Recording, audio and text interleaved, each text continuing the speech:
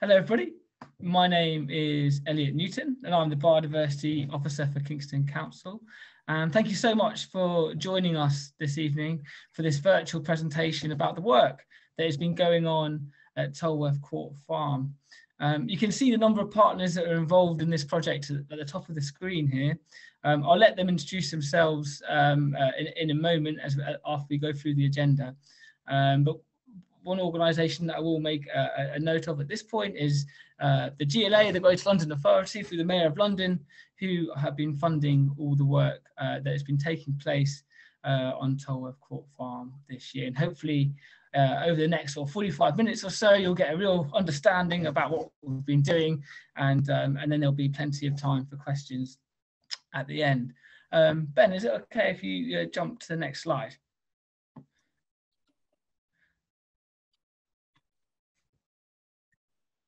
Thank you very much. Fantastic. So let me just uh, uh, run through how we'll be running this virtual event this evening. So as I say, in a moment, I'll pass over to our fantastic community partners uh, the Community Brain and Citizen Zoo to give an introduction uh, uh, uh, about them. Um, and then we'll give you an introduction to the site, Tolworth Court Farm, just in case some of you might not have been there in the past, or some of you may have been there but might not be aware of some of its history, uh, which is great. And then we'll give you a bit of context about what rewilding is, because it's, it's, quite a strange term and it means a lot of things to a lot of different people. So we'll give some background about that and also what it could potentially mean in this, in this context. Uh, and then we'll give you more of an introduction to what's been going on um, over the course of the last sort of year or so, which has incorporated three work streams through our ecological surveys, our feasibility investigations, and our community engagement work. Then we'll take a moment or two to just look at possible options for the future. One thing to, to make very clear at this early stage, nothing is confirmed at this stage. We're just purely assessing options. We're getting people's opinions, bringing that all together to try and create this co-designed vision for the site to enable it to maximize its ecological and social potential. So um, yeah, so we're very much in that journey and in, in that journey together. So thank you all for being part of it this evening. Um, and yeah, uh, as I said at the end, it'll be time for questions. And there's a, um, I'm sure many of you are familiar with, with, the Zoom process by now, but we've got a Q&A function down below. So if you do have any burning questions, uh, please do get them on uh, and we'll uh, do our best to answer them at the end of the uh, presentation this evening. Um, so uh, with no further ado, I'll, I'll, I'll pass over to, to Robin from the Community Brain. So over to you, Robin, and if we go to the next slide, Ben, thank you. Yeah, good evening, everybody, and thank you very much for joining. I'm going to speak for a brief moment about the Community Brain. We're a not-for-profit organisation based in the borough of Kingston, um, and what we're really about is how do we work with people, individuals and communities to really enhance and make the best of where we live. Uh, and some of you will know our work through perhaps some of the, uh, I'm going to say, zany events that we do, like Surbiton Ski Sunday and the Seething Freshwater Sardine Festival. But we also run uh, the Surbiton Food Festival, um, and we have a number of uh, spaces in the borough that do um, community work, and in particular at the moment focused around food poverty um, and trying to ensure there are some warm spaces. Um, but in relation to um, Tolworth, we've been working on a project that started off called ShedX, and that was about how do we counter the proposition that the Evening Standard and others put out that Tolworth, in their words, was the scrag end of the Royal Borough of Kingston upon Thames, when in fact it's filled with really rich stories and some amazing people. And we've focused on a number of those over the last two or three years, including the fact that David Bowie first performed as Ziggy Stardust at the Toby Jug. We've looked at the history and heritage of Corinthian Casuals, the local football club of Mr. Middleton, who was absolutely instrumental in encouraging a nation to turn to gardening and grow vegetables and then Tolworth Court Farm Fields, which was is this amazing open space that when we did our initial surveys before COVID, 95% of local residents were completely unaware that it was there because of the way the A3 acts as such a, a massive divider in the community. Um, and we think it's the most beautiful place with amazing potential. Um, and that's why we're excited about the opportunities that this project could bring. Ben. Brilliant. Thanks, Robin. Uh, good, good, evening, everyone. My name is Ben. I work for Citizen Zoo. I'm the Urban Rewilding Officer. Um, some of you may be familiar with our work, but uh, working locally, well, we're a conservation organisation. Um, to start with, uh, we have a specific focus on rewilding, and we do this primarily through uh, community-led habitat restoration and species reintroduction projects. So many of you may be aware of our water vole reintroduction project, uh, which as of August of this year released over 100 water voles back onto the Hogsmill River, um, where they've been locally extinct uh, since 2017. It's a community-led project. We've had over 300 volunteers getting involved to date um, with everything from surveying the river right through to habitat restoration, helping us actually fundraise for the water voles themselves, um, and, and, and, now monitoring the river for um, invasive species and also the water voles themselves. So take, undertaking several different surveys out on the river. Um, slightly further afield, we are working currently on a beaver reintroduction project. So this is in Ealing, um, looking at a site called Paradise Fields, where we're hoping to reintroduce um, beavers to to showcase the incredible kind of uh, abilities of the animal, these animals to create wetland, wetland habitats that can sequester carbon, uh, prevent flooding further downstream, filter pollutants, um, uh, various ecosystem services. And we also want to use, use it as a kind of springboard for a large amount of community engagement, um, trying to get Londoners and people in urban areas used to living alongside these animals in the hope that one day um, we'll see them back in the capital, kind of widespread across the capital once again. Uh, even further afield, we work on a grasshopper reintroduction project. So this is a species called the large marsh grasshopper, um, which is the UK's largest but rarest species of grasshopper. Uh, once widespread throughout the south of, of England, it's now, it was, as of 2018, it was only found in three locations in the southwest. Every year we run a project where we get local people in the area of Norfolk um, to home rear grasshoppers. So we give them the equipment they need, the training they need, um, to, to go ahead and home rear grasshoppers for a period of two months. And using that kind of methodology and um, uh, you know, that, that method, we've successfully released over 4,000 individuals into the wild across four sites in Norfolk, which is an incredible achievement. Um, coming back uh, closer to home in Kingston, we also work on an area of kind of rewilding people. We have a specific focus on um, engaging local people. We do this through a couple of projects, uh, one being our Edith Gardens Nature Reserve, which is a small nature reserve um, in, near Berrylands, um, which was restored back from, well, we've completely restored it and it's you know, the borough's only fully accessible nature reserve. We're now running ecotherapy sessions on that site with the local branch of Mind um, and organisations like the Kingston Centre for Independent Living. Um, and also in Kingston as well, we're working with the Kingston Carers Network, um, specifically with their young carers on a project called the Curiosity Project. We were taking out children as young as eight to around about 15 years of age, um, giving them respite from their caring duties, taking them out to local nature reserves and getting them to experience the local wildlife. Um, it's been a really great project. So I will hand back over to Elliot now. Great. Thank you, Ben, and thank you, Robin, for that great introduction. Give me a snippet insight to your to, to, your organisations and the work that you've been up to.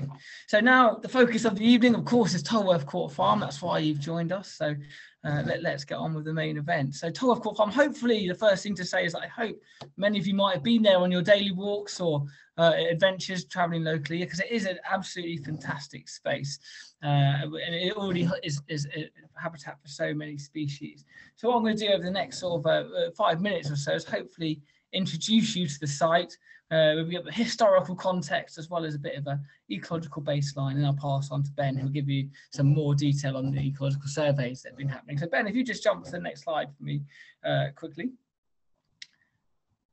Thank you. Yeah, so here it is. Uh, so it's that it's that area marked in red there, and out of all 12 Kingston Nature Reserves, it's by far our largest. It's about 42 hectares in size, so an incredibly uh, large space when it comes to uh, compared to some of the other screen spaces that we have locally. But it's not only Tolworth Court size, uh, Tolworth Court Farm size that is important from an ecological perspective. It is its connectivity with the wider landscape.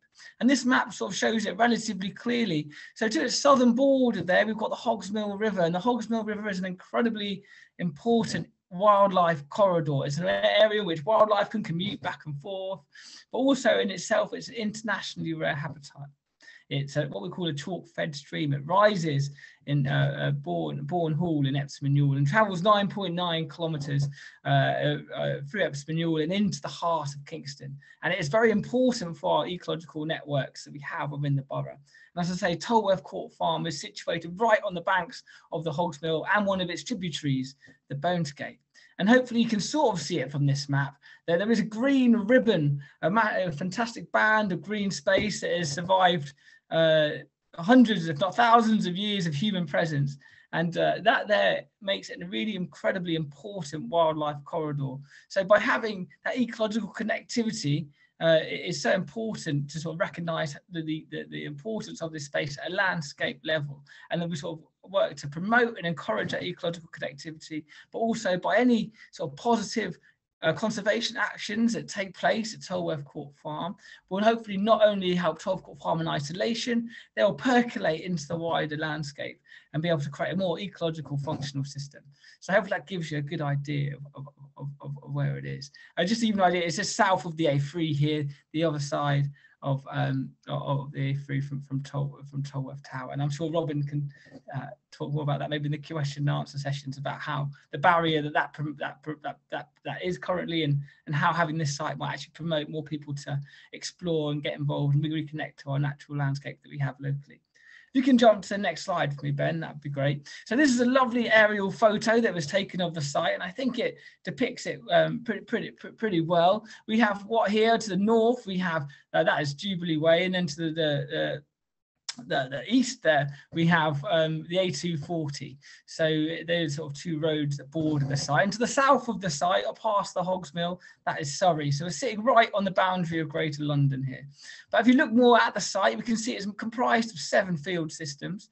Um, and they also have some really fantastic hedgerows that I'll briefly mention in a moment and uh, and sort of those meadows there and air compartments of woodland. But hopefully you can see from this this picture that it is a vast space compared to some of our other green spaces, and that gives us a real opportunity to try and do some exciting conservation interventions to make it as ecological functionally as possible. Um, so you can just jump to the next slide again, Ben. That'd be great. So yeah, just just to give you a bit more historical context, because I think it's so important uh, when you're doing any project, not only just to think about, you know, uh, well, from, from, particularly my mindset as a biodiversity officer for Kingston, and and uh, I, I, tend to have sort of tunnel vision when it comes to ecology, but obviously it's things are way more complicated than that. There's so much more fantastic history and social importance. So it's so important that we recognise and celebrate the social heritage of the site and Tolworth Court Farm indeed has an incredible, uh, incredible history, as does so much of the areas around us. So just a few little points I just want to raise, just to give you a small snippet of uh, insight to sort of the, the, the history of the area. So one of its most fascinating features, through its heart, through the, the, heart of the site is almost dissected by an old Roman road, a road that would have taken Romans into the capital and it served as a very important highway uh, you know, 2000 or so years ago. So the site was used even that far ago. So there's been a human presence on this site for a very long time. If you go forward about a thousand years to uh, the time of William the Conqueror and the Domesday, um, the site indeed is, is mentioned in the Domesday book when it was a large farm in the name of Taldor and it had a farming community there. Was, the farm was actually gifted uh, by um, uh, William the Conqueror to his guardian. So the site actually has like a direct relationship with William the Conqueror himself. And um, as I'm sure some of you are aware, Surbiton and Tolworth has quite an interesting history when it comes to the Civil War. And I believe um, uh, uh it was used at, at that time uh, to sort of uh, some sort of parliamentarian soldiers actually based there uh, before they went on their last sort of skirmishes, one of the last sort of battles that happened in the Civil War. So it's got a link with that too. So it's a really fantastic, interesting, um, well, rich history that the site has. Um, and then, and that is also recognized in some of the names of the meadows. For example, um, one of the meadows, as you can see, is called Sawpit Meadow, and that's because you know for years and years the local woodlands that would have been brought, the wood would have been brought here and processed, and that's probably why it gets its name. Becoming more recent into more, more modern day sort of living memory, um, in, in 1989, that is when Kingston Council actually bought the site. They bought it from Lambeth Council, who actually had intentions to uh, return the site into a, uh, a cemetery. Uh, as many London inner London cities were looking places to bury their bury their, their dead and looking at outer outer boroughs and sorry to do that. So that that's probably why they highlighted this as an option. But I was so pleased actually in, as I say, 1989, um, Kingston Council bought it from uh, Lambeth Council to prevent it being turned into a cemetery and, and maintain it as a, a, natural space that can support species and, and, wildlife. So that was very good forward thinking from my perspective. Hopefully all of our perspectives that the site was protected at that point. Um, and then coming forward, even another sort of uh, a few about 10 years or so. Um, the site actually has a, a history of um, uh, you know, some, traveller incursions, and also there was a five-day rave that took part on the site, which actually I speak to a lot of volunteers, and I actually remember being part, maybe going to that rave. So in, in a way to try to, to, sort of stop that um, and sort of the, the, those sort of potentially ecologically destructive behaviours, the council in 2001 erected these huge bunds around the site. So as you go to the site, you'll as you walk through, you'll be presented by these large mounds and they, they were erected in 2001 to, to, to, try and prevent or vehicle access and trying to discourage um, those damaging behaviours that, that, that, took place then. And actually now they actually support quite an interesting ecology that I'll let Ben touch on in a little bit.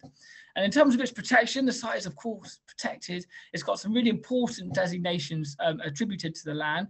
One is it's what we call metropolitan open land as that gives it the same sort of protection uh, as Greenbelt, a sort of a London specific protection. Um, and also we have, it's called a Site of Importance for Nature Conservation, a SINC for short, um, and it's borough grade importance. And also it's a local nature reserve, well, as I say, one of our 12 that we have in the borough. And we'll just to be aware, there's got uh, two public right of ways. So the site will always be public accessible, and that's something we want to promote and encourage sort of responsible use and access of the site so people can try and access the site and connect to the amazing social and natural history that we have on our doorsteps.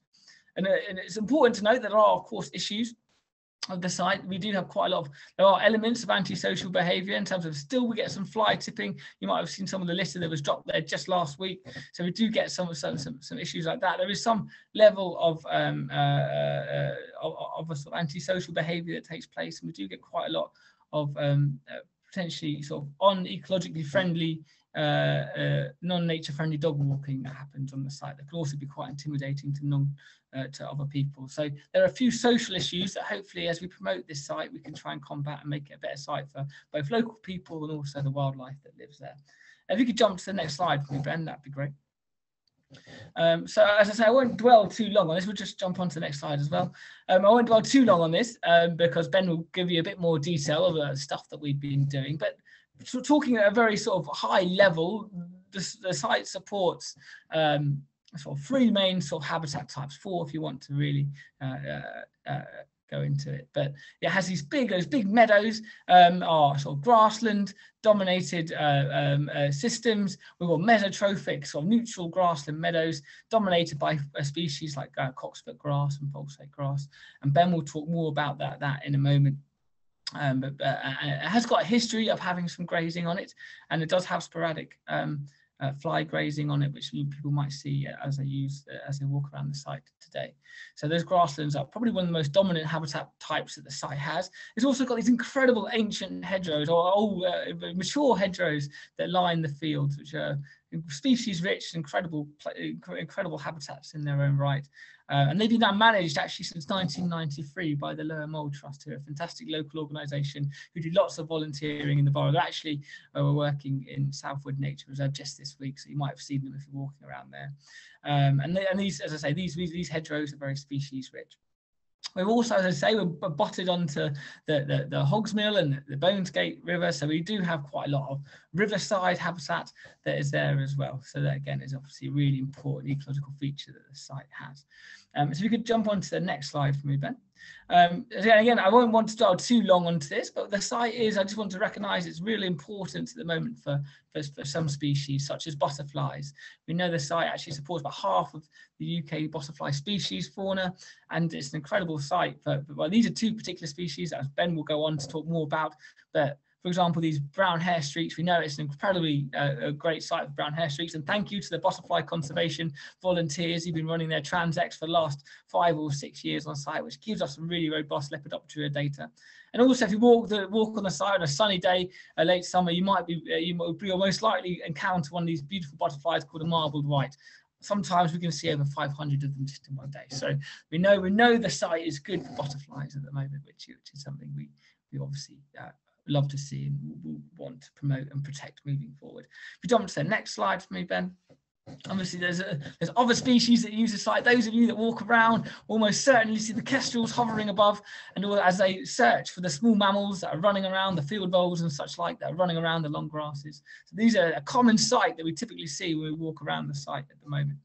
Um, if you jump to the next slide for me, Ben feel like one of these COVID briefings, just old school COVID briefing, asking you to do all the clicking. Um, but yeah, so just to give you a small insight to some of the conservation work that has the Kingston Council has been delivering um, over the last sort of two years or so.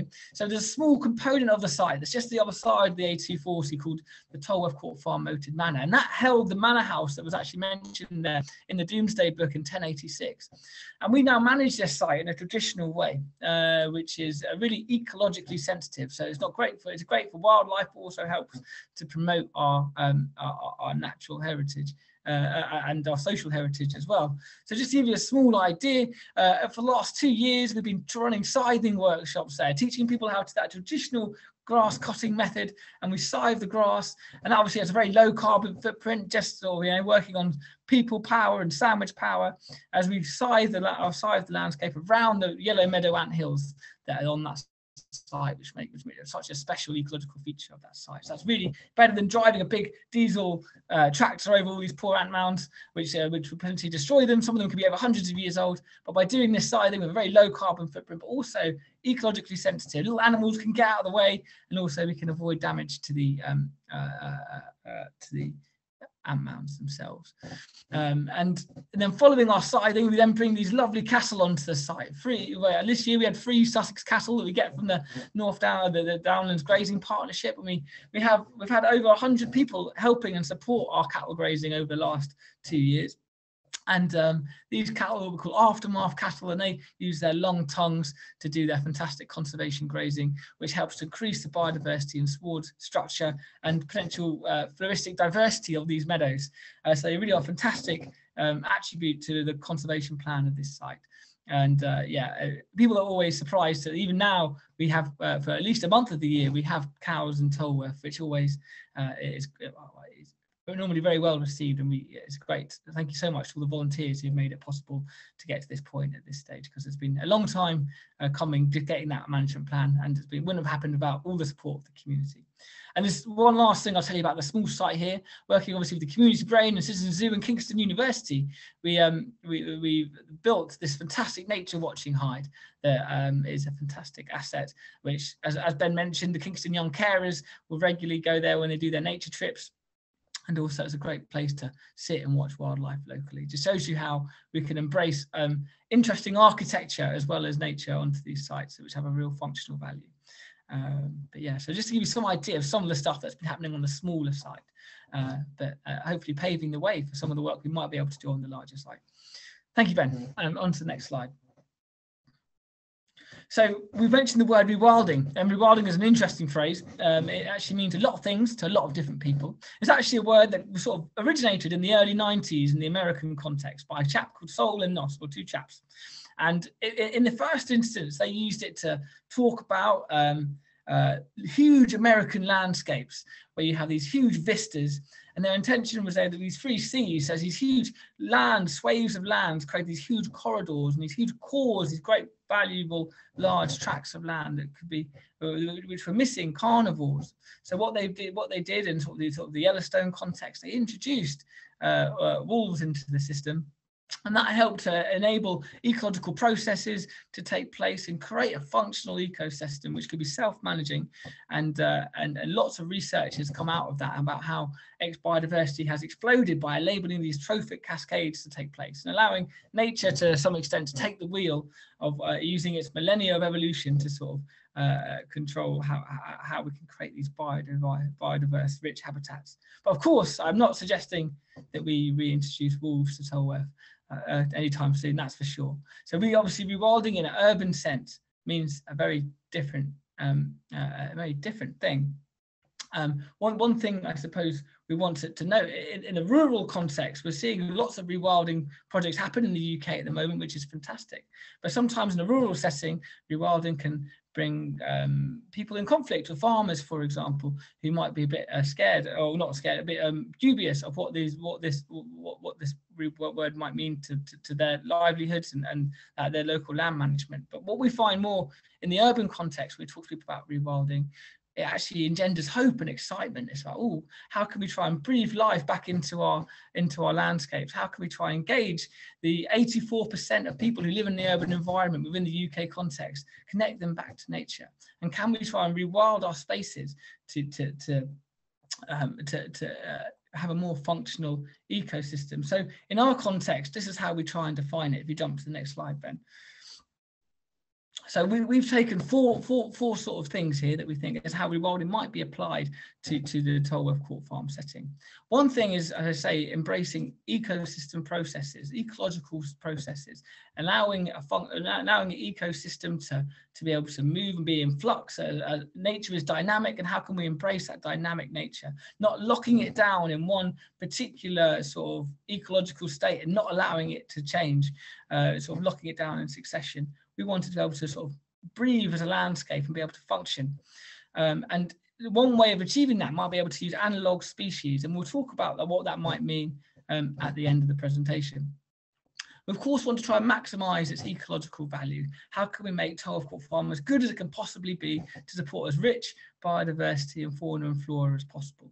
I think one of the most important things, if not the most important thing on this project, is rewilding people. How we can try and engage people to reconnect with nature and get all the benefits that can bring from a, a physical and mental well-being perspective, and also feel proud about where we live and how how rich our nature can be, living alongside and thriving alongside wildlife. I think sites like Tolworth Farm really have that potential to deliver those really important social outcomes as well. Robin said at the start of this talk, when they did their survey before COVID, very few people even knew this site existed. So how can we try and raise the profile of our natural heritage and encourage people to engage with nature in a responsible way that can bring so many benefits? And what we'll talk about now is the ecological monitoring expert, uh, uh, uh, part. And any conservation project should have ecological monitoring. It's so important to how we um, uh, can monitor change over time. And uh, uh, so without that, if you don't monitor something, you can't manage it. So it's so important that we're able to know what's going on on site. And we'll hopefully we'll convince you this evening we've done some really fantastic ecological surveys to get that understanding. ben, can you show us the next slide? So I'm now going to actually pass you over to Ben, uh, who's going to take you through some of the work streams that we've been doing. Just to let you know, there's three work streams that I sort of alluded to at the start of the talk. One is our ecological monitoring, the most comprehensive ecological, ecological surveys that the site has seen, certainly in recent years, if not ever. And then our sort of feasibility investigations, and then I'll jump on at the end a bit about our sort of community consultation efforts. But Ben, over to you. Brilliant, thanks, Elliot. Um, so yeah, as Elliot's just mentioned there, our first work stream is looking at ecological surveys, trying to build up a really robust data set or, or baseline data set of the site. Um, we've done this in a few different ways, but um, the first of which being kind of using traditional survey methodologies, uh, looking at various different groups. But for example, we have contracted services of uh, Peter Kirby, so Peter Kirby is a national invertebrate expert. He literally wrote the book on habitat management for invertebrates. So it's fantastic to get him out on site over the summer months to, to run some surveys. We've also contracted the services of Sarah Lambert. So Sarah Lambert is a botanical specialist, a plant specialist. Um, she ran UK habitat surveys on the site as well as NVC uh, grassland quadrats, which I will uh, go on to explain uh, shortly. Sarah has got well over 10 years working in Natural England um, and now currently heads up her own ecological consultancy. We've also worked alongside local expert groups um, in the community. So Surbiton District Birdwatching Society are going through running some surveys in this month. Um, and also working alongside Butterfly Conservation and more specifically Bill Downey, who's been, as Elliot mentioned earlier, has been running, uh, along with several volunteers, many of which may be on the call tonight, been running uh, surveys on the site for about five or six years. So these photos here were taken back in May of this year. So that was when the Peter and Sarah went out for their first survey day. As you can see, the grass is looking quite lush and green, which was very much not the case on their, their second and third visits over the summer months. Um, so yeah, just think, I think it's important to point out the kind of difficult conditions um, that they were surveying in, but um, nevertheless, they managed to get some incredible data set um, built up. So I'll come on to that shortly. So we've got some initial results back from both um, Peter and Sarah. And so this map here is a really important one. So this is from Sarah. Uh, it might look slightly confusing, but this is basically a map to show different habitat communities using the NVC community uh, survey methodology. So essentially what this does is Sarah went out, she took out quadrats into each of the fields, uh, threw them on the ground and then surveyed for each specific plant species found in that quadrat. Using that uh, set of species, you can then identify what specific plant community you have on that site. As you can see here, or from the right hand side on the, the labels, a lot of the, the fields are showing MG, MG qualities, which stands for mesotrophic grassland, um, the bulk of which being MG1A, which is a typically fairly species poor grassland community. It's uh, synonymous with post-arable fields, um, so where they've been semi-improved, so they've had some level of fertilizer in the past. So not unsurprising on, on a site of this nature. Um, typically dominated by grass species, so things like uh, cocksfoot, false oat grass, and in particular Yorkshire fog is found in high numbers as well. Interestingly, fields uh, 4 and 5b, which you can see on the map here, show traits of MG1E, which have a slightly higher botanical diversity with species like oxeye daisy and meadow vetchling, um, Elliot mentioned earlier those bunds that were put in by the council in 2001. Really interesting on the kind of northern tip of the site uh, where those bunds stand. They also showing characteristics of the MG1E community, um, which I think just goes to show it's quite interesting how um, these kind of uh, mini habitats can, can or ecosystems can develop over time. Um, the, the most botanically interesting or diverse uh, field by far was field three in the bottom corner there. So this showed traits of MG5 community. So having a higher botanical diversity, um, plant species like nap, uh, common knapweed, birdfoot, trefoil, and crested dogtail. What's quite interesting about this field uh, is this is actually the only field on the site that's had grazing in recent history. Um, the, it has unsolicited grazing from uh, the local farming community, um, and I think added with the fact that Sarah, in one of her recommendations for one of the ways we can increase increase plant diversity on site is through extensive grazing. I think that um, with that kind of fact there is quite an interesting finding in itself.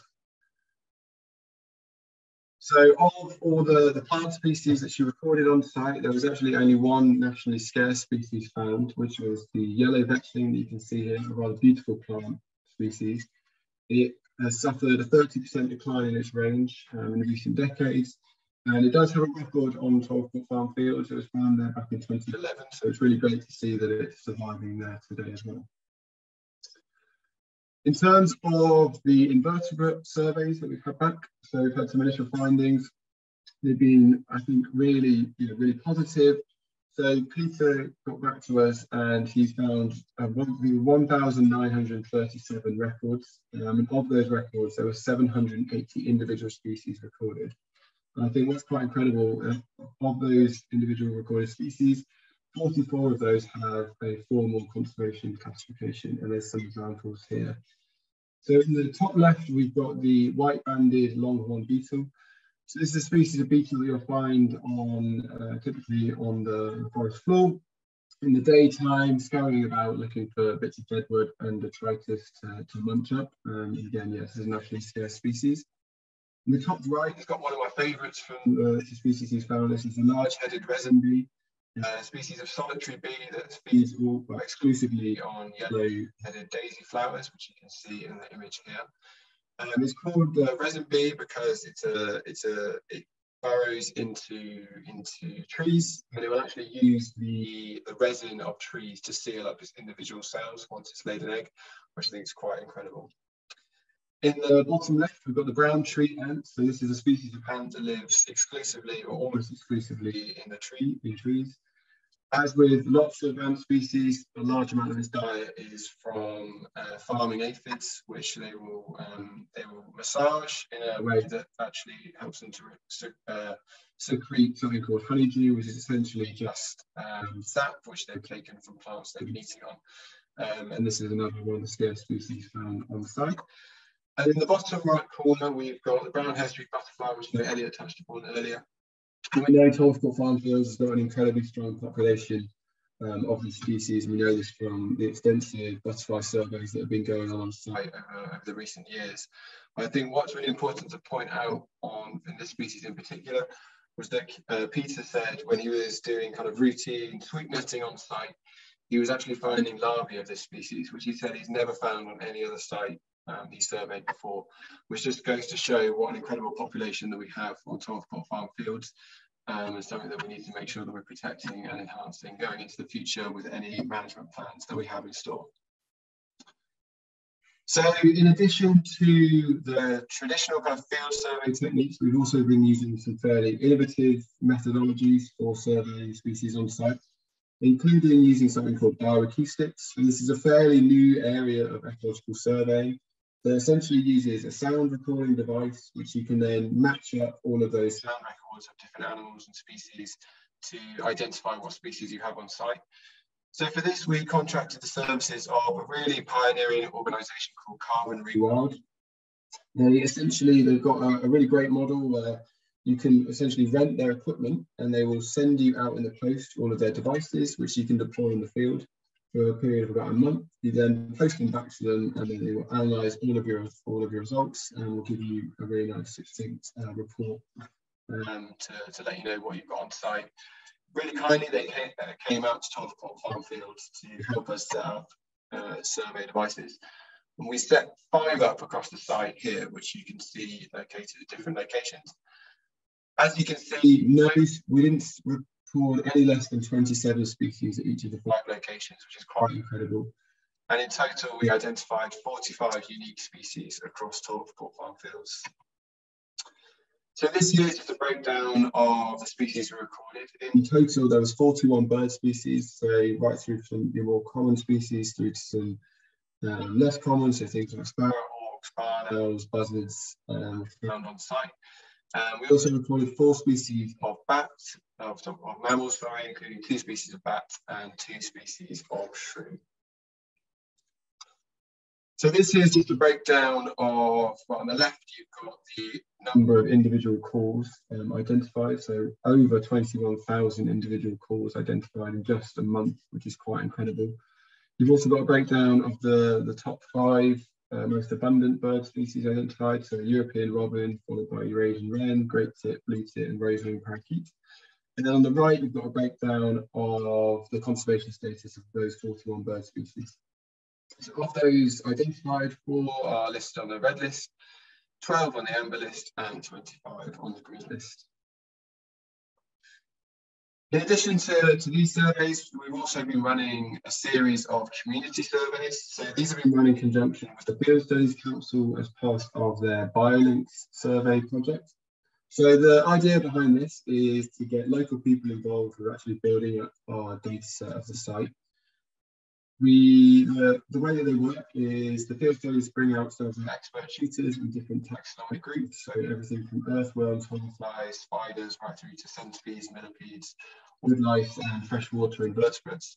Their specialists come out, they teach skills in how to identify certain species out in the field and how to conduct some of these surveys. And all of this is feeding into our wider baseline data set for the site. To date, we've run five surveys. Uh, they've been incredibly well attended. We've had over 100 attendees come along, um, and they've been really productive in terms of the species records that we've had as well. So on the top right, uh, not a particularly, uh, well, not a scarce species, but really incredibly on our first survey session, we identified uh, 23 different species of hoverfly just in one day which um, the, the expert from the from the day um, said was a really positive outcome in terms of for just one site. So that was brilliant. But we've also identified some some more naturally scarce species. So on the top left, we've got the six-belted clearwing moth, which is, well, as you can tell from its, its clear wings, that's where it gets its name. Really beautiful species of moth um, with really lovely um, black and yellow um, markings as well. On the bottom left, we got a uh, possibly the site's first ever record of a wasp spider. So a wasp spider gets its name from the way that it looks. So it actually mimics what a wasp looks like um, to evade predation. It's in, it's in fact not completely harmless um, to your eye, but um, really amazing, amazing species. Just like a garden spider, it creates orbed webs, um, but you can tell the difference between this and a standard garden spider um, through a kind of zigzag, zigzag shape that they create in one corner of their web. Not actually a native species, it's colonised from the mainland um, in recent decades and it's starting to become uh, widespread throughout the south of England. So quite amazing to get our, our first record of the species on the site. And in the bottom right hand corner, we've got uh, another nationally scarce species. So this is a species of centipede called Henia vesuviana. It looks like quite a formidable beast. It can grow up to five centimeters and has uh, five pairs, uh, up to 75 pairs of legs, uh, which is quite incredible as well. So in addition to all these surveys, we, we started to roll out uh, camera trap surveys on the site, primarily to build up our data set on different mammals using the site. So on the left-hand side here, you can see some images of foxes. Um, we know that the Tolworth Farm Fields has records of roe deer on site, um, so it's been great with our first kind of round of surveys to get some uh, confirmed sightings of roe deer as well, which you can see on the right-hand side here. And I should say, actually, we're going to continue doing these surveys um, over the coming months just to build up that data set on the different mammals using the site. So Elliot touched on this earlier, but in addition to all of our ecological surveys, we're also looking at a second work stream over the year, and this is our feasibility investigations. So this is very much about thinking about what we could potentially do on the site, and then thinking about how we could potentially make that, um, well, thinking about is that indeed viable, and then how we could actually bring that to life. So one of the key ways that we've been doing this is to, to have conduct site visits with uh, conservation experts from across the country um, to get their insight on how best we can manage the site and get their um, you know, specialist insight. So on the top left-hand side here, you can see a uh, site visit with Derek Gow, so Derek Gow was kind of was pretty well renowned in the, in the conservation and rewilding world. Um, perhaps best known for his species reintroductions. He's he's behind releasing over 30,000 water waterfowl back into to the UK. He led the water voles for Citizen Zoo waterfowl reintroduction project, but also is working on other species such as white storks, uh, wildcats, and potentially even Eurasian lynx as well.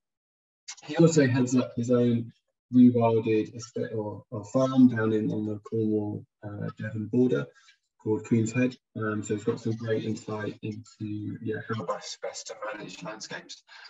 On the top right here, we've got um, Sarah King. So Sarah King works for uh, Rewilding Britain. She heads up the rewilding network um, and is, is herself an expert in rewilding, but also has been a great contact for putting us in touch with other practitioners who are working on similar sized projects um, so it was great to get Sarah down to site to get her insights, but also to have us connect up with other people working in the field as well. And in the bottom left, we've got Dominic Buscall. So Dominic Buscall works for Wild Ken Hill. You, many of you may be aware of Wild Hills. It's been, it's been the, the host site of uh, BBC Springwatch for the past few years. And they do some amazing things down there um, in terms of regenerative farming, traditional conservation um, uh, uh, management, as well as um, pioneering rewilding methods as well, looking at um, mixed grazing regimes. And then finally, we've also got um, George Monbiot here. So George Monbiot, he, you might know him as a Guardian columnist. He's also quite regularly on TV talking about environmental um, issues. He also wrote the book called Feral on Rewilding, which, uh, to my mind, really put uh, rewilding on the map in the UK um, as kind of a, as a potential way of managing land um, throughout, throughout the UK. Um, so it's amazing to get George down and get his insights on Tolworth Farm Fields. I think one kind of recurring theme from all of these visits that we had was not just the potential in terms of the ecology of the site, but really how excited people were by the potential in terms of its level of engagement. Being an urban site with a huge catchment of local people, it really is quite unique in its in its way that it can potentially um, tap into local communities and get people excited about conservation, wildlife, um, and rewilding more broadly as well. And then as part of these feasibility studies as well, um, we've also been looking into well, wetland investigations. So the image on the top left here, so that is a photo of what was, what is the, the wetland component of the site. The, the, the buried corner of the site does kind of remain wet generally for most of the year, particularly in the winter um, months, it can get, it does get very wet. The summer we had though, it pretty much dried out um, fairly early on this summer. So we're looking at potential ways that we could enhance the wetlands so that we can have some level of standing water all year round, which will bring about a range of biodiversity benefits. So it's also important, important to point out here that um, not only would it be great in terms of uh, its implications for biodiversity, but also that corner of the site um, has been earmarked by the Environment Agency as part of their, um, uh, their flooding and risk assessments looking at, as, at that location as a potential site that could hold water to try and alleviate flooding further downstream. Um, so that's one thing we're, we're also looking into. So to, to look into this work more kind of more thoroughly, um, we've contracted the services of an organisation called 35%. So this is an organisation that's been working for decades now in the field of wetland creation um, and design. So they came out onto site in September to, to run some topographical surveys of the entire um, site, also more specifically looking in that corner and where the wetlands uh, still exists to, to take some soil analysis samples. And what they're really looking for here is how far down do you have to dig before you can get to that layer of um, London clay below because that is essentially what we need to know in terms of how much soil we need to take off um, so that we can get to that London clay that would then be would enable us to hold water on site all year round. And what they'll be doing is they'll be going around and looking at these soil analysis, taking away, looking at the topographical surveys and coming up with some potential designs that they can implement on site. So this could involve um, an offline system. So um, I don't know Emmett mentioned earlier, but um, the Hogs actually used to run through that corner of the site. So one of the things that we're looking at is potentially could we even redivert the Hogs back through the site so that it's um, uh, yeah having kind of ongoing water going through that.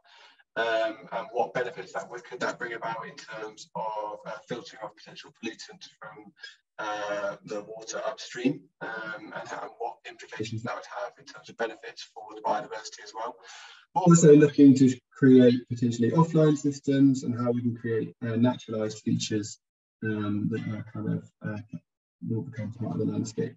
And so they're working on the, these designs currently, and we're hoping to get some of these designs back in the coming weeks, which will inform our feasibility investigations further. And I will quickly hand back over to Great, thank you so much, Ben. Hopefully, that just shows you the incredible amount of work that's been going in this year, collating these species, the species data, getting a really understanding of the health of the ecosystem that currently finds itself at Tolworth Court Farm. I think one thing as Ben was going through all those different species, each species has a story to tell. Uh, and of course, wildlife doesn't have mouths.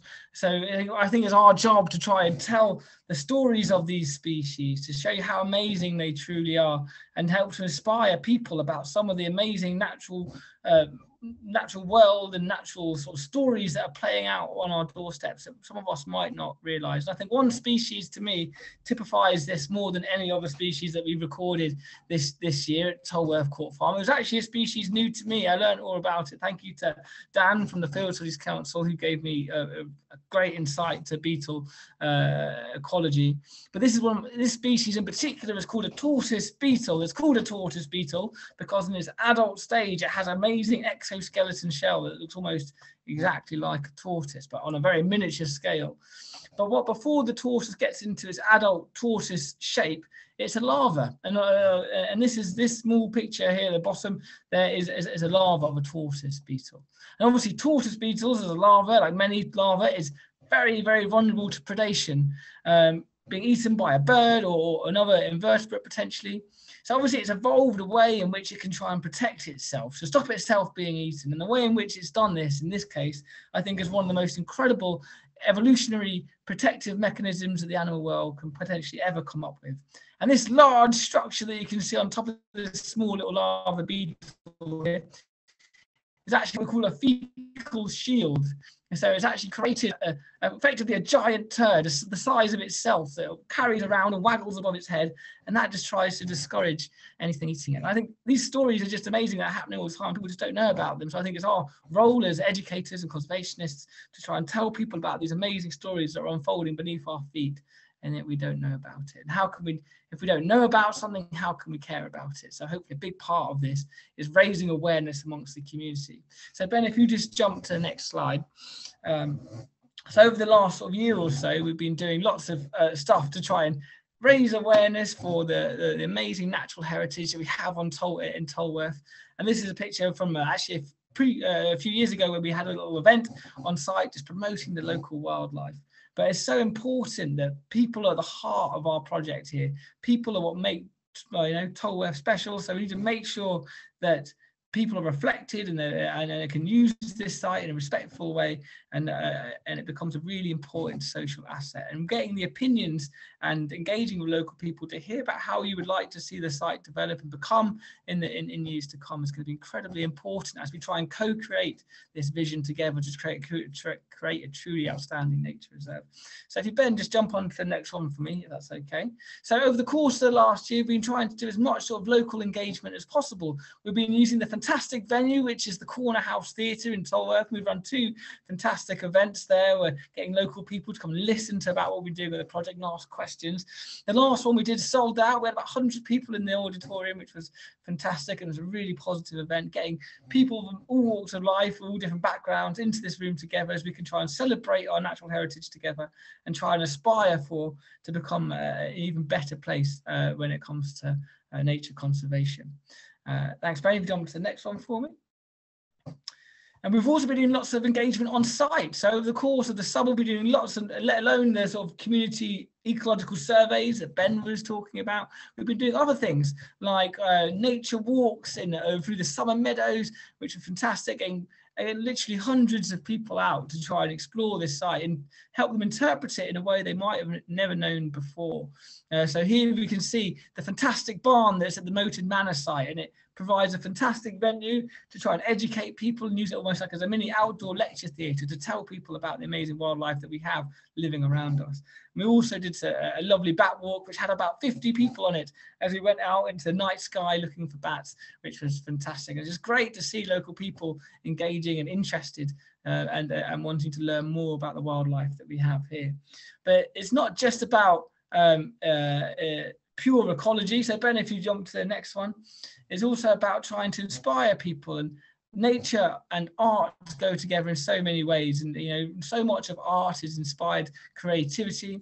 And the community brain we uh, have this year uh, did a fantastic garden at the hampton court flower show. And this garden was inspired by the wildlife of tolworth court farm and how that wildlife can help to uh, uh encourage people to create music and uh, and uh, do some really fantastic arty things. Um, and I think it was an amazing garden. It was and we're engaging local schools and also a local composer who is a well-known local composer actually went out into Tolworth Court Farm in the early morning, recorded the bird songs and created this most beautiful composition, uh, which I'm sure we can share uh, which yeah, it really is a truly, truly fantastic musical feat. And yeah, and yeah, so a really fantastic element the community brain have been leading on. I'm sure Robin and Charlie can elaborate that if you have any questions at the end. Uh, but yeah, Ben, if you jump on to the next one for me.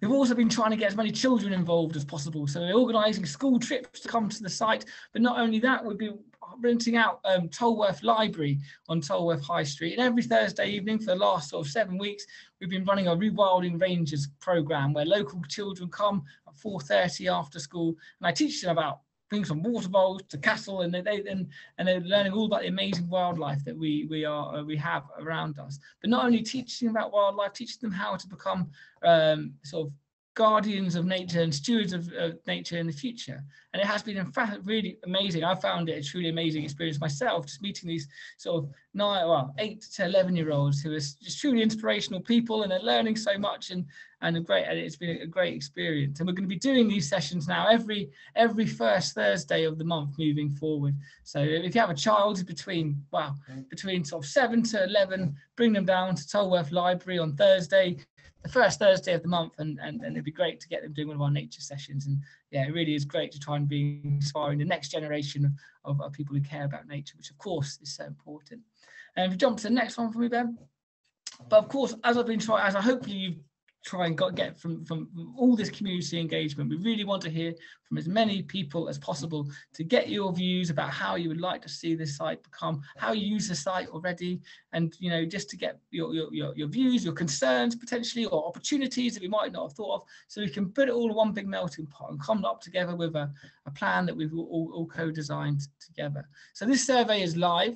We uh, we can we will share that the, the, link is readily available. Uh, we can we can send um, um, actually the community brain have just put in the chat. Uh, Charlie, thank you, Charlie, for putting the, the, the, survey form there. So you can access our online survey there uh, and give your views about the project. And this will be open uh, until the end of November. So you've got lots of time to try and scribble down your views. And we do, please do tell your friends to do it as well, just so we get as, as broader input as possible. We've had over 100, over 100 responses already, but we would love some more. So thank you to those who've done it. And if you haven't done it, please do it. And then please tell your friends about it too.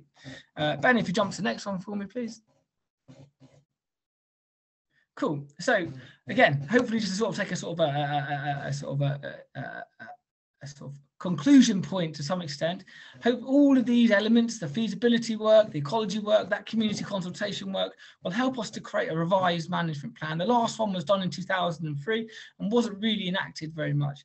Uh, so we're hopefully going to create this new vision that is based on leading science, conservation experts, and also the community voice and we can come up with this truly uh, hopefully a pioneering plan for the site to have a um, outstanding nature reserve that we can all be proud of and showcase to other people across uh, London and urban realms about how we can have a truly functional ecosystem in a um, urban space or relatively urban space, uh, which is a really exciting thing and trying to create a roadmap of how we might be able to achieve that moving forward.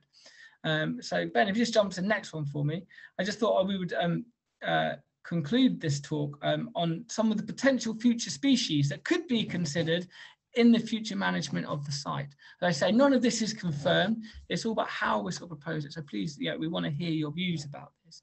But the first one, Ben, if you click to the next one, is uh, we already use cattle to great effect on on on, on Farm Moated Manor. Uh, cows have got an amazing long tongue. They haven't got top teeth, so they wrap their tongue around long grass and create an amazing patchwork of um, uh, uh, of, of sward structure, which enables wild uh, wildflowers to colonize. And we have to remember before we domesticated cattle, they were a, like an absolutely essential part of our ecosystem, functional ecosystem. Uh, something called the auroch would roam our forests and our woodlands and also our grasslands and their impact on that space in a low density has really important ecological role, something that many people have forgotten, but cows have an incredibly important ecological role. Without them, the, the landscape will be denuded. Uh, ben, if you jump to the next one for me, please. Another fantastic species are pigs. Pigs are analogues of, of, of, wild boar. Obviously, before we domesticated pigs, we'd had wild boar. They'd be running around woodlands. And the best thing about pigs, they have this incredible cartilage ring around their, their, their nose. And what that does, it helps to they, uh, for, they, they, dig up things like tubers and earthworms. And as they dig up small parts of ground, they disturb it. And that, that disturbance enables um, other species to colonize and creates that dynamic ecosystem that I was talking about. So these are really keystone species. Potentially one day we could have uh, for a small amount of time. We wouldn't say they'd be there all year round, but for a few weeks potentially we could potentially have pigs doing doing their really important ecological behaviour Tolworth Court Farm, which would be a really great example. And in rural context, they used to good effect at the moment. So we know it has strong ecological science behind it. Ben, if you jump to the next one for me, please. And white storks. So white storks are an amazing species. The last time they bred, bred was hundreds of years ago, actually, the time of the Battle of Agincourt. That's when white storks last bred in the UK. But over the last five years or so, there have been some fantastic reintroduction projects of white stork within within within the English context. Um, and as a species, uh, in conservation, they're used as a symbol of hope, ecological regeneration, and they have so much fascination about them. They, in urban centres across Europe, they're found roosting on chimneys and stuff, and people actually love having them as these symbols of nature in their in, in their more urbanized environments. And it might sound strange, we actually have white storks that actually um, occasionally fly over Surbiton and Tolworth uh, as we speak uh, due to reintroductions that have taken place. And these birds aren't very clever, so they're looking for other bird populations where they might be able to want to settle down and uh, potentially create a nest. So we thought we might try and see if we can actively encourage that. And because they're not very clever birds, well, we can try and trick them by painting a plastic heron that you might have by your pond um, to scare away uh, birds, uh, scare away things from eating your fish, and um, put it on a, a pole, and that and then paint a sort of white ring around the platform that you've erected, and that will that white that white ring will it will be sort of the the, the sort of pretending to be the poo that the, the, the, white storks are making. And hopefully that might then encourage white storks that are flying over anyway to sort of settle down, have a look at Tolworth and say, well, maybe this could be a home for me in the future. We've actually got a student from Exeter University who's his master's student, who's, who's actually done his thesis on this. So we're, we're waiting for that and looking forward to reading that when we get it. But potentially it could be an amazing species that, um, uh, uh, that could be inhabiting Tolworth at some point in the future. Who knows? And the last species I want to tell you about if you go to the next slide for me, Ben, is uh, glowworm. And glowworms are amazing beetles. Uh, they're not worms at all. And actually, say so then a female beetle that you can see here. I think there's no other species in the in, in the UK that characterizes magic of the magic of nature as much as a glowworm. So these females here, uh, they glow in the summertime to attract the males that can fly. They only glow for a very short amount of time, but that is all to attract a male to come and mate with them but they but walking through a meadow at night time with glowing glowworms there can be very few other sort of natural experiences that engender that that feel of magic and just the, the awe and majesty of the natural world. So who knows maybe one day in the future we could have white storks clattering above our heads and glowworms glowing in our meadows as we enjoy the, the ecosystem that Tolworth might want might one day be able to provide. So let's give you a small indication of some of the stuff we might be able to do moving forward um, but thank you, Ben. On to the next one. So um, that that brings us to the end of our presentation. Apologies, I probably went on a bit longer than we intended. I tend we tend to get more excited, too excited and talk for too long. So sorry about that. But we now we now have time for questions. So and we do, Elliot. I've got a couple of questions that have come in while that was going on, which I'll uh, uh read out if that's all right for you two to answer. Yeah, uh, one came up while we were looking at the potential for the wetlands area and the flood alleviation there. And the question from Liz was, what about the sewage overflow?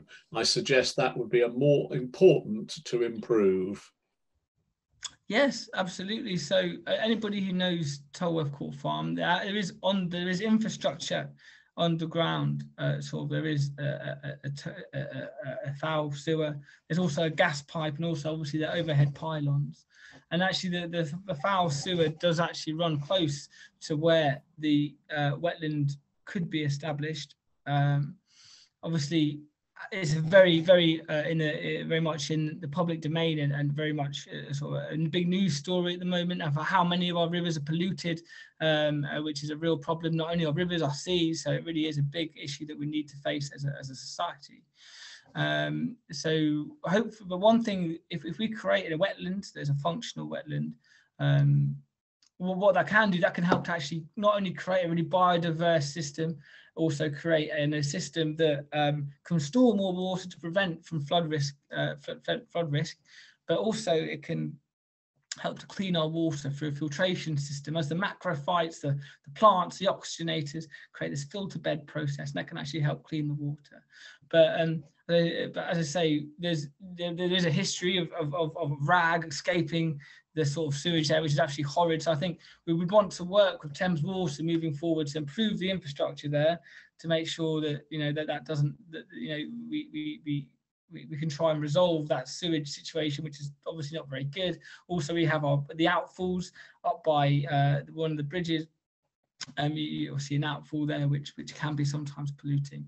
So um, yeah, I think obviously it's a very important thing that we try and resolve and working with you know statutory bodies like the Environment Agency and water companies, Thames Water. Uh, but I think you know uh, creating a functional wetland can be a small part of trying to help improve our water quality moving forward. And if we can design a system that um, uh, that works on site, that would be fantastic. But I, I definitely take the point that. Um, okay. We've got a few more questions flooding in, which is really funny. Um, I use flooding. Um, so the next one came up fairly early on in the presentation. Please don't think about putting cattle on these fields. Dogs run across the fields every day. There are many dog walkers that use these fields and have done for years. It's the only safe place locally for them. Uh, ben, do you want to jump on that first and then I can yeah, so there's a couple of things. So Citizen Zoo, we've been we've been working. Well, we've we've launched a project on on dog walker engagement, um, and the premise behind that project is to get dog walkers to engage other dog walkers um, in in nature friendly dog walking behaviours. Um, and as part of that, what we've been doing is a lot of uh, wildlife walks, so getting people to come out with their dogs, um, experience the wildlife locally, learn about potential kind of conflicts with wildlife and ways that you can overcome that. Um, it's been a really productive way of kind of having um, yeah, proactive conversations around potential areas of, or, yeah, areas of conflict and ways that you can reduce that. Um, so one of the things that we'd like to do on site is potentially scaling that up and doing that around whole and thinking about how we can um, kind of manage that. Um, but for me personally as well, I, am a dog walker as well, so I, I, definitely don't want to discourage people from walking dogs on site. But it might just be that going forward, there is an element of changing to the way that that's done. And you know, at certain times of year, it might be dogs on leads, um, and just trying kind of changing some of the behaviours potentially if there was going to be cattle on site. But again, these are very much early conversations, so it's great to get um, kind of feedback in that sort of area because it's it's something that we want we want to make sure that we're, we're taking on and incorporating that into any future management um, going forward. Yeah, absolutely. I think one thing to say, we don't want to exclude anybody from this project or this site. So obviously, I think one of the main users of the site at the moment, almost certainly the dog walkers. So we will, as a Ben, as a dog walker himself, can can relate to that as himself. Um, so we want to work with people to encourage nature-friendly dog walking and how you can maybe enjoy the site uh, with your dog. And if you do want to sort of run your dog off lead, obviously there are potentially other opportunities. You know, we, on the other side of Jubilee Meadows, there, there's called King George's playing field as well, which is has, has nowhere near the ecological value of this site. So if the dog just wants to run around, catch a ball, run around as crazy and do, do exhaust himself or herself, I think Jubilee, uh, you know, uh, King George's playing field is a fantastic place for that. And if you want to take more of a walk with your dog and enjoy nature uh, in a more responsible but more ecologically friendly way, uh, the Court Farm will certainly be open to that as well. Um, so it's not about excluding anyone. Then we've got from Isabel, do you think there are any opportunities and risks with the Signal Park development nearby? Lots more potential users of the space. Um, does anybody else, should I start with that? Does anybody else want to jump on with that? Or I, well, I'll, I'll jump in and people can try and join in. Of course, we recognise that there's a lot of development pressure in the local area, especially Signal Park, with all the homes that's associated with that, and you know the the, the, the, the little development of the workers there as well. So I think one thing we, we really want to encourage with this site, I think one of its most exciting things is also one of its most sort of challenging things. It's the people that live around it. And uh, obviously that creates incredible opportunities for us to create an environment where you can walk around and engage in a nature-rich space uh, and sort of, sort of, you know, challenge perceptions, how we can have these more functional ecosystems in an urban environment that can bring all those positive um, things that we spoke about. Uh, but of course, increased pressure will bring, you know, increased people to the site will also increase pressures to the site. So we want to sort of, uh, you know, working with the community brain, Kingston University, we want to try and create a way in which we can engage and encourage responsible usership of the site. So for example, we want to with the entranceways, we want to sort of call them gateways. So as you walk into the site, you recognize how special the site is that you're walking into and sort of setting the tone, encouraging more nature friendly, more responsible behaviors. And by having like a series of really well constructed paths and sort of interpretation elements and potentially viewing platforms, encouraging people to use the site um, in, sort of ways that can have limited impacts to the surrounding wildlife. So there's loads of examples across Europe and the UK about how we can try and create these nature-rich environments that have high levels of people use uh, and, and do in a way that minimizes that impact to wildlife. But certainly it's one of our biggest challenges, but one of our greatest opportunities here, I think, to really show how we can uh, make it such a great place to rewild people. Um, is there anything else you want to add, Robin or Ben, onto that? No, I think you've caught it that in the end of it, you know, a, a popular space, and we hope this will be popular, brings its own issues, but actually how it is managed and how it's made available will help mitigate against a lot of the dangers that it could cause. And I think it will boil down to respect.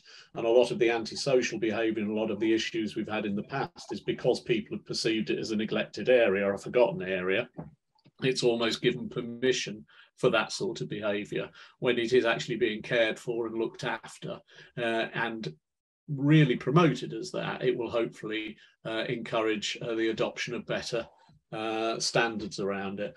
We've got a question from Phil, and he's added an addendum, well comment uh, and an addendum to it is um, suggest the digging of a number of ponds within the site in addition to just the wetland creation, uh, and then adds if ponds are created, they will need fencing as dogs and ponds don't mix.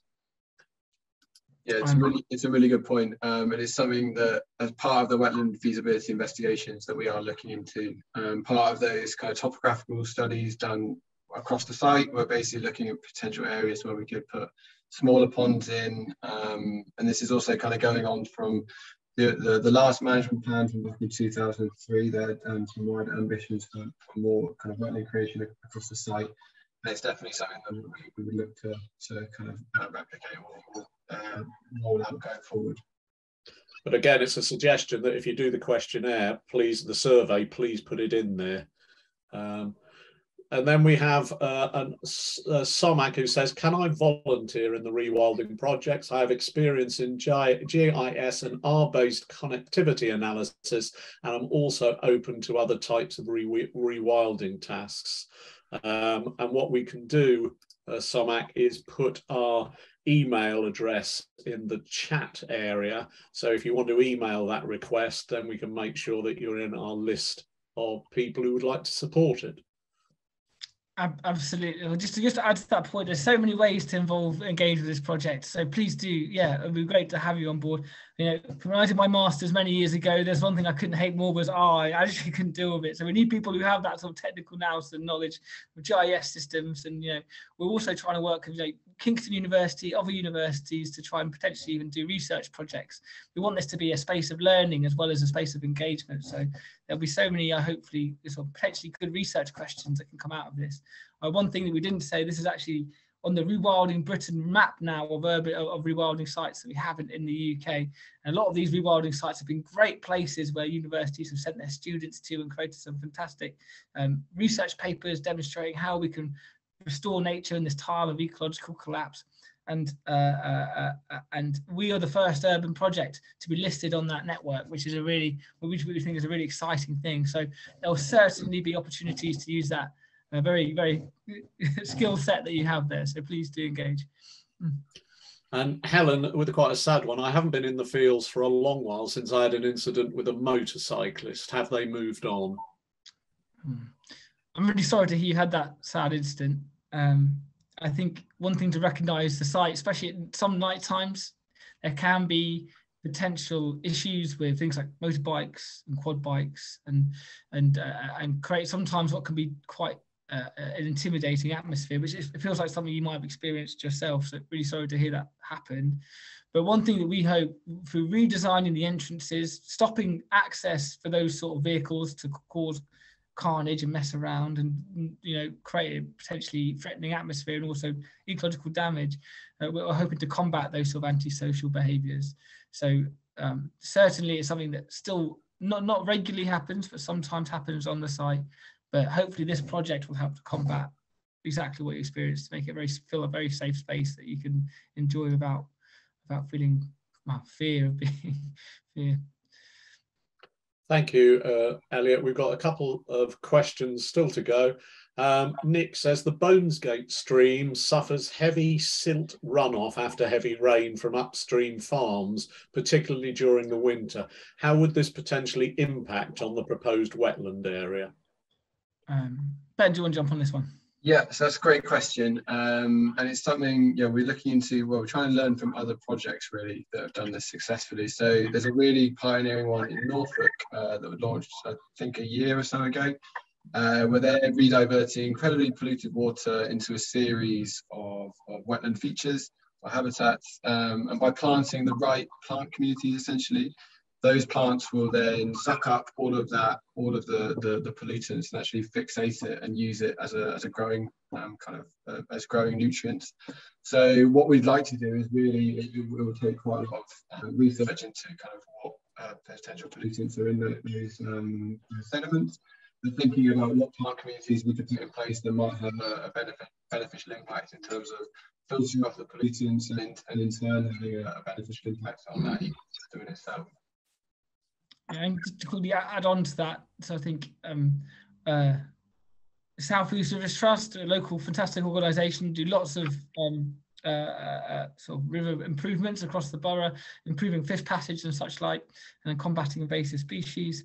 Um, they are actively now, I believe, in trying to engage as much as possible with Park Farm and Rushett Farm, which are a real source of agricultural runoff into the Bonesgate, which does cause issues for the Hogsmill.